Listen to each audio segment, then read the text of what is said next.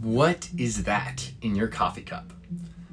Coffee cup liners are a huge overlooked contributor to microplastic accumulation in our body.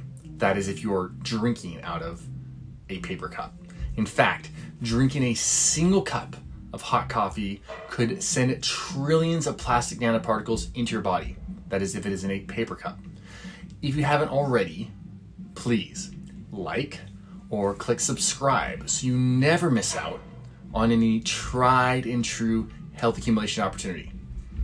All right, so researchers recently showed that by the time a person like me, like you, has down 13 paper cups of hot coffee or tea, they will have consumed the equivalent of one nanoparticle, plastic nanoparticle that is, for every seven cells in their body.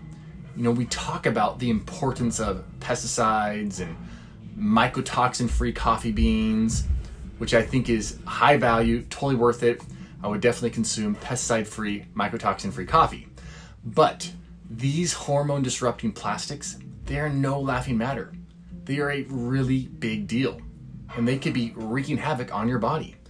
The Journal of Hazardous Materials showed in 2020 that within minutes of the hot fluid contacting what we call a high density polyethylene, which is essentially the plastic liner in your, you know, red decorated paper coffee cup from Starbucks, microplastics have started entering your favorite hot drink.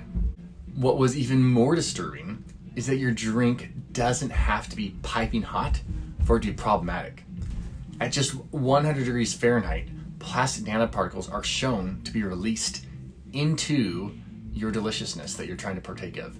And recognize that most coffees are served between 130 and 160 degrees Fahrenheit. You know, some people want that extra hot.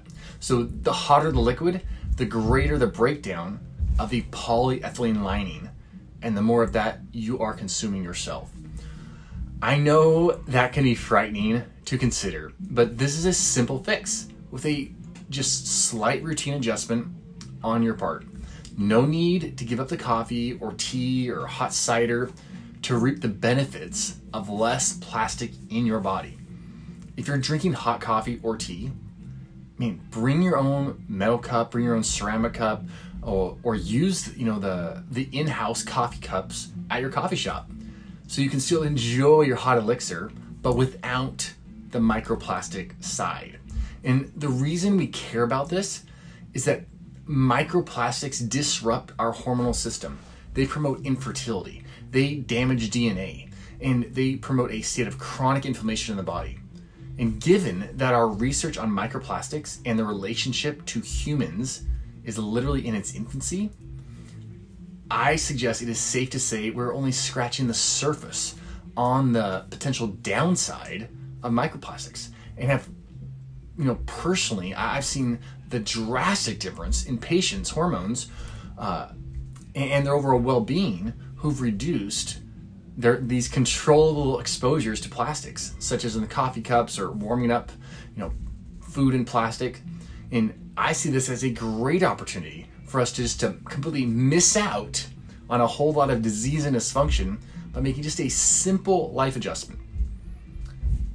In our current world, so much of health accumulation is literally just sidestepping the destruction brought on by convenience. So, a good question to ask ourselves is Is this new convenience worth the cost to my health, to my family's health, I suggest that in the case of microplastics, in the case of the, the inner lining on these paper cups, it's not worth it. I'm Dr. Matt. Talk to you guys later.